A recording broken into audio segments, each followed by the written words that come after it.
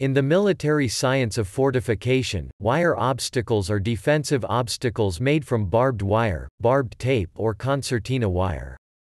They are designed to disrupt, delay and generally slow down an attacking enemy. During the time that the attackers are slowed down by the wire obstacle they are easy to target with machine gun and artillery fire. Depending on the requirements and available resources, wire obstacles may range from a simple barbed wire fence in front of a defensive position, to elaborate patterns of fences, concertinas, dragon's teeth, and minefields hundreds of meters thick.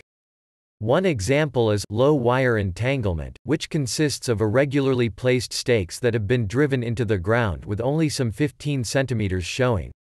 The barbed wire is then wrapped and tightened onto these. An enemy combatant running through the barrier, which is difficult to see, is apt to trip and get caught.